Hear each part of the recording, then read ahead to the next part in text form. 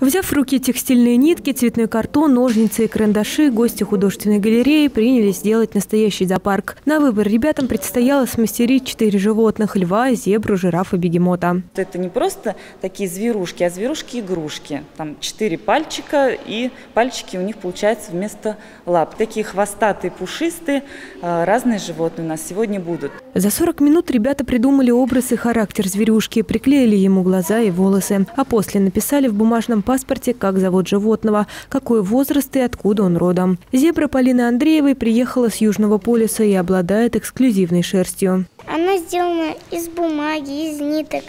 И смешные у нее есть такие глазки, вся разрисованная она.